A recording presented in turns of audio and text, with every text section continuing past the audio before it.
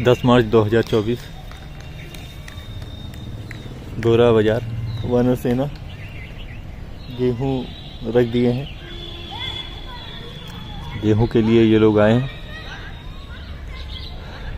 थोड़ा बहुत गेहूँ ही रख पाए हैं आज, लेकिन ये भूखे लग रहे हैं। और गेहूँ के लिए ये लोग आए हैं। अब गेहूँ खा रहे हैं, खा करके चले जाएँगे जय सिया राम जय सिया राम जय सिया